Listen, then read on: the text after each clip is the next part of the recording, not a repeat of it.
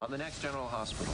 Anybody? Could you please tell me what the hell is going on? Did you ever transfer memories from my sister to me? The DNA results are in. Please consider staying in Port Charles until the wedding. I have a little favor to ask you. Did you tell him? I'm pregnant.